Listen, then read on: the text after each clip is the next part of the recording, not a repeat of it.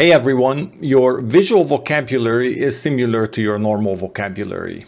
These are the images and sketches that you frequently use to express your thoughts. In today's video, I want to give you six different approaches for linking your visuals with your text-based notes and for linking your visuals with your other visual notes. To be honest, this is the reason I started to develop Obsidian Excalidraw in the first place. For the last two decades, I was searching for the right tool, the tool that could seamlessly merge my drawings and my text-based notes into one integrated knowledge base. Because I couldn't find one, I finally decided to take things into my hand, and this is how this plugin was born. So let's dive into the different strategies that you can take. The first strategy is to simply insert an image into your drawing.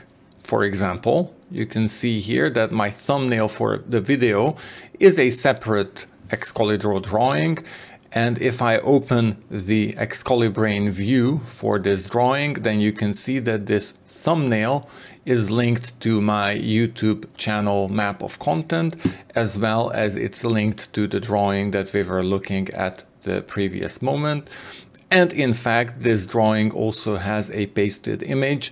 I think it was this airplane that I copied from somewhere, the internet. But going back, you can see that this image up here my sketchnote your brain icon is also an inserted image and if I open this image then you will see that I've used this sketchnote your brain icon already in a number of different places and you can see that in this case, this is used as an example in my linking your visual vocabulary drawing. I'll talk a bit later about how I got this link here that in this case it is a friend relationship and it has this label example in Excalibrain. But moving on, the second approach that you can take is to add images from your library. So hopefully you're aware of the stencil library. This is the stencil library. It's very easy to add images of your own to the stencil library. So for example, if I create this uh, very simple image right here, or this very simple icon right here, I can select this object, I can open the stencil library, and if I press the plus button here, then from then on, this item is going to be in my stencil library and I can easily use it in other drawings. However, if I just simply use this drawing in other drawings, I'm not going to be able to find this. So there are a couple of strategies that you can take to overcome this. And all of the strategies involve adding a text field to your drawing. So the simplest approach you can see here with my video tag is to add a tag to the image itself and you will see here that I have a number of examples of those items in my library. So for example, here's my icon for a person and when I add this, this automatically adds the tag person to this document and if I want to search based on this tag, I'm going to find this document as well. Similarly, to adding tags to images. You can also add links or you can even add links with a data view field. And to go one step further, if you don't want to see that text when you reuse the image because you think that that text would clutter your view or would look ugly on the image, you can make the text transparent. So in this case, what you can see here is I have a text element here that is transparent. If I switch this text to black, then what you will see here is I have this icon embedded here, which represents the thought or the idea of combining components. And the text I have included with this icon is the example double colon and then the link to combining components. What this does is this creates a data view field called example and adds this link to that data view field. So if I now hide this again, you can see I have an icon that doesn't appear to have any text, but then if I look at my Excalibrain visual here, then you can see that I have combining components here, which is an example uh, of, or the better way to read this is linking your visual vocabulary is an example of combining various components, combining various strategies for doing this. And if I open combining components, then you can see that uh, it is currently used in two different places. The other place is the place from where I took this. This was a presentation by Laura Evans Hill uh, last week at the Link Your Thinking conference about visual thinking frameworks. And that's where I picked up this representation from and this is what I'm reusing on this drawing as well.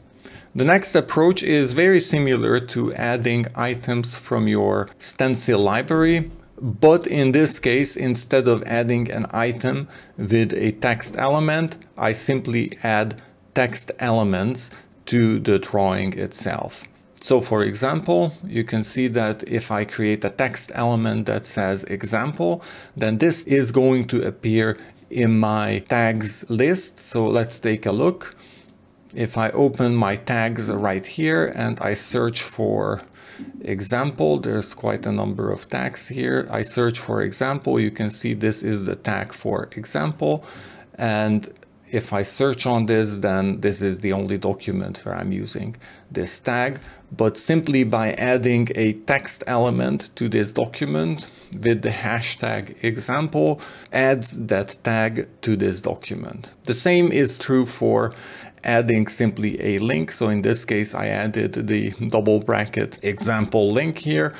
And then again, if I look at Excalibrain, I can see that this document has now a child called example. And this example is an unresolved link, meaning this document doesn't exist in Obsidian at this time. So that's why it has this color in Excalibrain. And then the last example down here, as you can see I can also add a text element with a data view field and a value. And in this case, this is how I added myself as the author of this visual by adding this text element to the document. I linked my document in my Obsidian Vault with this visual. Going further, we have some other approaches as well. Uh, you can add links and tags in the markdown view. So the way it works is if I open my drawing in markdown mode, then you can see that here above the text element section, I have a couple of front matter switches as well as I have some data view fields with values. Anything that goes above text elements is going to be retained by Excalidraw, meaning whatever you write here and however long, however many lines this is, Excalidraw will simply copy paste this and preserve the text you put here. So if you put here metadata, either tags or a description or links, like in this case, these are going to be preserved. And so here you can see that this is how I'm linking my drawing to my YouTube channel map of content as well as to the visual vocabulary topic. Also what you can see here is that I linked my sketchnote your brain icon as an example as a friend relation to my drawing. So this is the icon I'm talking about. And this is what I mentioned to you earlier that sketchnote your brain appeared on the left while my thumbnail, so this is my thumbnail, uh, my thumbnail appeared uh, as a child node. The difference is that in case of Sketchnote Your Brain, I included this additional line here as example Sketchnote Your Brain. In case of my thumbnail, it is not included like this, only embedded into the drawing, and thus it will be reflected as a child by Excalibrain. Going further, the other way you can uh, link your drawing to other notes in your vault is by creating backlinks to this drawing in other documents. So for example, you can see that this drawing is linked as I'm working on this topic today, Sunday, May 29th. And if I open my daily notes for Sunday, then you can see here that here I have this data view tag that I'm working on and I state the name of the topic I'm working on and this will become a friend relationship in Excalibrain. And again, this just adds an additional richness to the way I integrate my drawing with my other notes. And finally, you can also add images and use them as templates. I have a library of different templates. And so, for example, bridging the gap is a template that I may want to use. This is very similar to how the thumbnail is added or how uh, this drawing right here is added. The difference is how I use this and in this case I want to use this as a template. When I use this as a template then it's best to right click on the image and to lock the image. By doing this this image cannot be selected and thus when I edit this drawing right here so when I come here and I edit this, I can easily write on top of this and it is, so this is go, oh, okay, so my text now is transparent. I can easily add text here. So um, this is going to be resource one and then I can add resource two, resource three, resource four. So I can add my resources. I can add uh, today's date here. Of course, if I would now add today's date uh, like this, so if I would just simply uh, write today's date as it is Sunday, then this would become automatically a link. And in this case, I might not need the backlink from the other document. That would be another option to link this.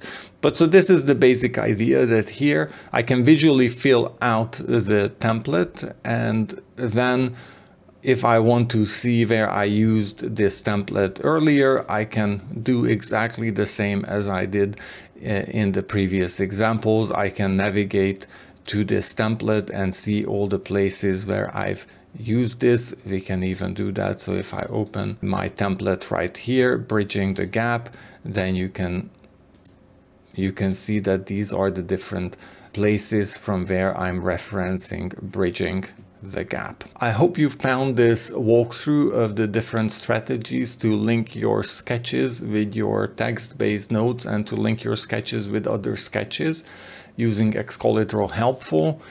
And as mentioned here, uh, in terms of combining approaches or combining components, think of these different approaches as different strategies, workflows that you can combine to create the linking that you need. There is a very rich tool set to combine your text-based notes with your sketches.